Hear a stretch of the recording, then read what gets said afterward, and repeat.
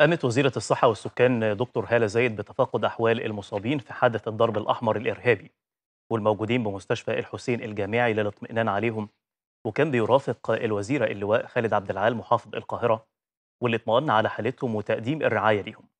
دكتور خالد مجاهد المتحدث الرسمي باسم وزارة الصحة والسكان قال إن الإصابات من بسيطة لمتوسطة وتتراوح ما بين كسور وجروح سطحية وشظايا في أماكن متفرقة من الجسد. أشار إلى أن جميع المصابين بيتلقوا الرعاية الطبية اللازمة وحالتهم الصحية حتى الآن مستقرة.